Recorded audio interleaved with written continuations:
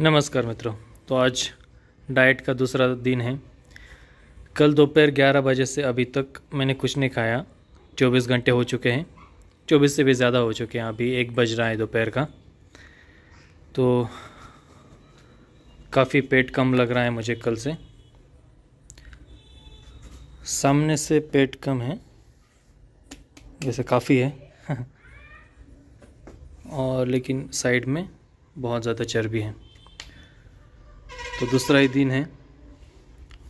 और पूरा एक दिन हो गया, कुछ खाया नहीं अभी तक। फिर भी कोई एनर्जी की कमी नहीं लग रही। काफ़ी एनर्जेटिक हूँ। क्योंकि फ़ैट जो होता है हमें काफ़ी एनर्जी देता रहता है। तो मैं कोई फास्टिंग वगैरह ऐसा डाइट नहीं कर रहा हूँ।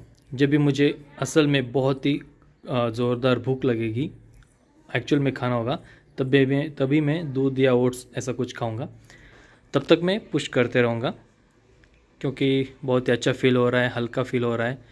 बाइसेप की नस अभी भी देख रही है। तो आज का वेट चेक करता हूँ मैं कितना है। तो कल 106.8 केजी था। अभी देखते हैं। एक बराबर 105 किलो है। तो मतलब एक दिन में 1.8 किलो वज़न कम हुआ और उससे भी पहले 109 किलो वज़न था, जो कि वर्कआउट के बाद तभी कम हो चुका था। लेकिन कल से आज तक 1.8 किलो वज़न कम हुआ है।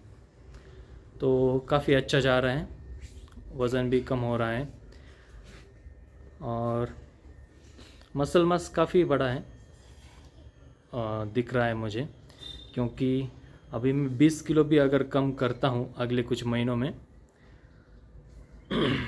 तब भी मेरा वज़न होगा 90 किलो के करीब।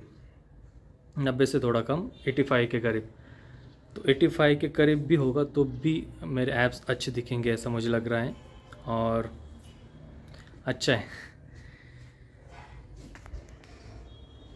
अभी वेस्ट का मेज़रमेंट लेते हैं। चलिए।